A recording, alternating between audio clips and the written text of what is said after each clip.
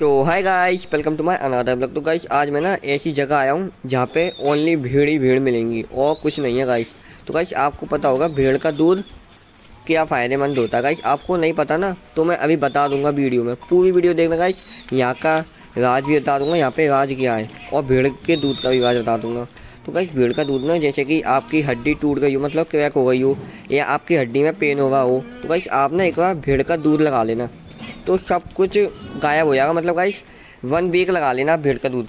मतलब जहाँ पे भी पेन हुआ होगा ना गाइस वो बिल्कुल ठीक हो जाएगा। हंड्रेड परसेंट गारंटी देता हूँ गाइस क्योंकि गाइस मैं तो लगा रहा हूँ ना, क्योंकि मेरे ना पैर में दर्द हो रहा था गाइस तो मैं ना भीड़ का दूध लगा रहा हूँ। तो गाइस मुझे ना दो दिन हुए। बट गाइस मुझे ना रिलीफ बहुत मिला। मतलब फिफ्टी परसेंट गाइस मेरा तो चले गया। एंड गाइस यहाँ का एक राज है। आपको सामने टंकी दिख रही है ना। गाइस ये बता रहे थे कि यहाँ पे ना कोई भी इंसान सात बजे के बाद नहीं आ सकता। मैंने पूछा था बट क्यों नहीं आ सकते?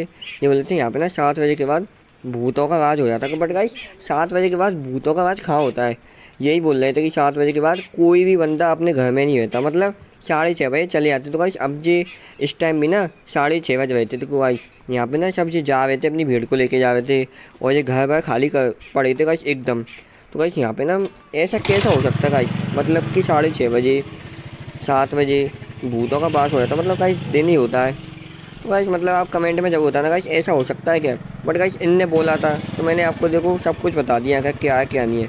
एंड गाइस, अब मिलते हैं नेक्स्ट वीडियो में, तब तक के लिए